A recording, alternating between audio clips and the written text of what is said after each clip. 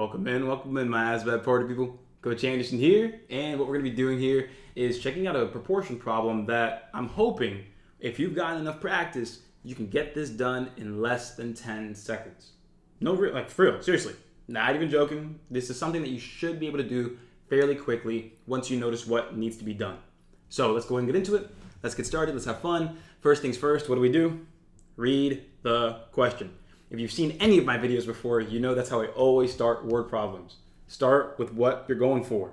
So right here, we're seeing that it says, hey, how many total items are there if eight yellow items are in the bag? Okay, so you can get stuck or confused very quickly here if you are learning and you're excited about these patterns that you notice. But if you recognize patterns, it's also really important to understand why those patterns work. Because there are a lot of people that might believe that they think that, hey, we have one yellow, then eight yellow. So that means it's a times eight relationship. And so then some people might believe that if we're trying to go from seven green to however many green, that that's going to be another times eight relationship, which would give us 56 green. Now, here's the thing that's correct. That's absolutely right. But what people almost always, always, always forget to do is check the question. Are you actually looking for the number of green? Actually, not. Take a look here. How many total items? So you really need to be careful. Yeah, we can get excited about the mental math that we know, we always do, but we have to be careful about reading the question. Because if you're looking for the total in items, you need to add everything up. And before you continue, just remember you can get a free week to our full program, no credit card required. All you gotta do is text trial to 833-321-0182. Do that real quick, get a free week, join all the classes, and raise your score. So if we have eight yellow items and 56 green, we add those up and we will get 64 total because this will be eight yellow from right here That'll be 56 green that we found with that accidental calculation. And we have a total of 64. So boom, that would be the answer there, A. But here's the other way to set it up. So don't leave yet. I want to show you the other way to get this done. It's with a proportion that sets it up properly, so you don't have to remember to go ahead and add it back at the end. So here we go. Let me just erase this, and I'll give you some nice tips here. So right over here, blah, blah, blah. So we have, again, one yellow for every seven green.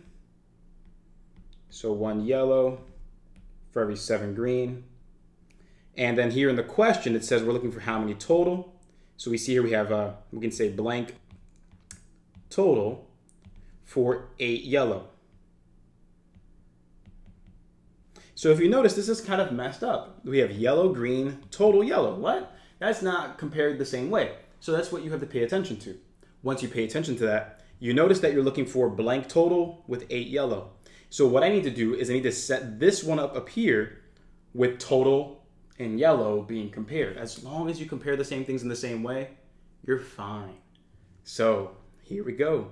I'm gonna take this right over here, move it over, so that way I can line up my yellows, and then I'm gonna line up my total. If I have seven green and one yellow, that's gonna be eight total.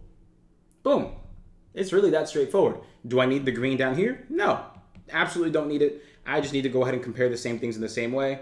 I got these two proportion or these two ratios. I'm good to go now. Once you have it, you're done.